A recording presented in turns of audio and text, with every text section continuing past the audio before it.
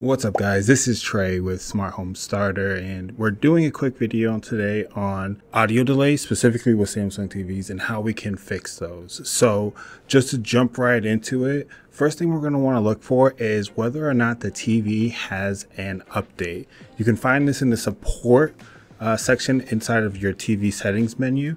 And if it does, a lot of times this can cause some conflicts, which in turn lead to that audio delay. And this might be the way to fix it. Now, if there is no update, what we're to do, we're just to check everything. We're to check our HDMI cables, our HDMI port. We're to check the sources. Uh, let's, let's just see if anything else is working.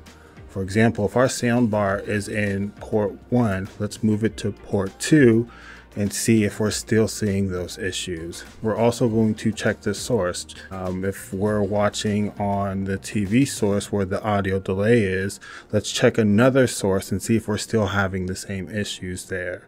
If not, it just might make sense to reconfigure how you have your audio set up. A lot of times it is coming down to whether or not you have a good connection. So we want to make sure that we're set up the best we possibly can be to make sure we do not have this audio delay or these sync issues.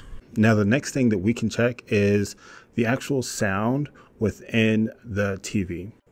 So let's walk through this real quick. So grab your remote control and what we're going to do is open the settings menu. Uh, from here, we're going to scroll down to sound, open this menu and scroll down to expert settings. So in expert settings, we have a lot of options that we can play with, but first we're going to start with just simply resetting the sound. So scroll down to the bottom, select it and go ahead and reset the sound. See if this fixed your issue.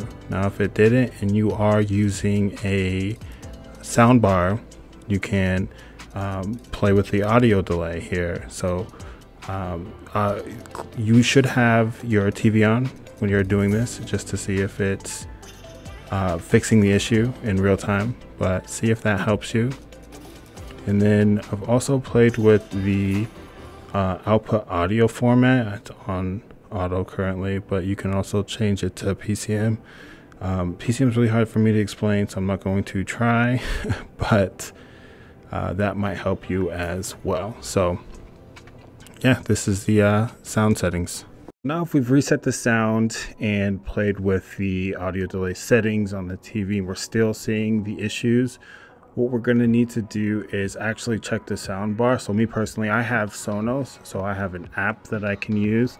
In that app, it gives me more control over the uh, output or input of the audio for the, the TV. So if you have access um, to something like this, definitely get in there and play around.